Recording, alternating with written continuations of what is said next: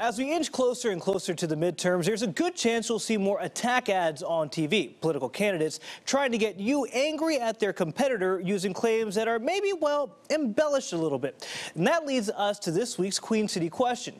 Do TV stations have to air political ads even if the candidates may be twisting the truth? Well, as it turns out, the decision actually doesn't fall on TV stations. That's because the Federal Communications Commission, also known as the FCC, has a set of regulations when it comes to political programming. First and foremost, the FCC ensures each federal candidate has access to equal time on the airwaves. But when it comes to the accuracy of those ads, meaning whether the claims the candidates make in them are true, the FCC governs that as well. The commission explicitly states broadcast stations are prohibited from censoring or rejecting political ads that are paid for and sponsored by legally qualified candidates.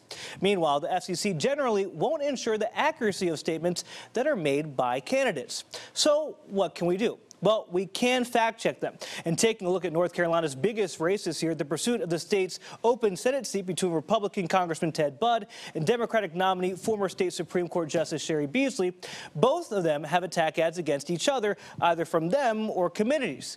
And here to explain how they work is Catawba College professor of politics, Dr. Michael Bitzer.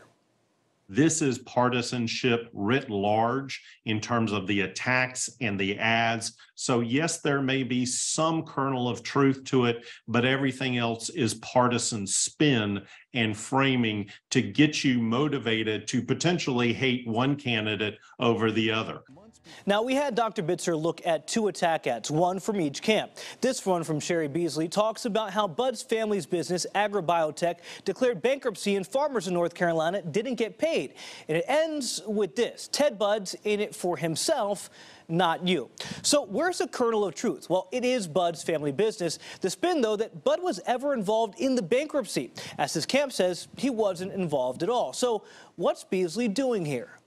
It's kind of guilt by association. The Budd family business, Ted Budd was involved with it at some point in time. The attempt to at least link the two, and particularly to go after Ted Budd among rural voters.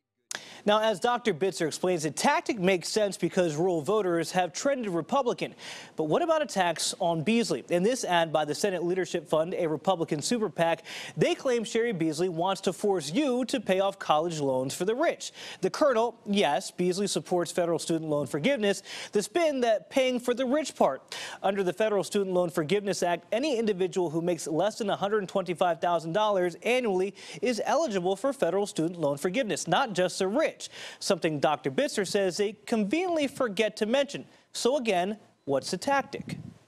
Here again, the kind of framing of the issue, taking one aspect of it, focusing in on it, making it a detriment to the opposition and to the Beasley campaign is a way to attack and to utilize negative ads in what they believe is a constructive manner. So in the end, when you see attack ads, just do your research because we can't censor them, only fact check them. Of course, if you have a Queen City question that you want answered, you can email us at qcquestion at qcnews.com.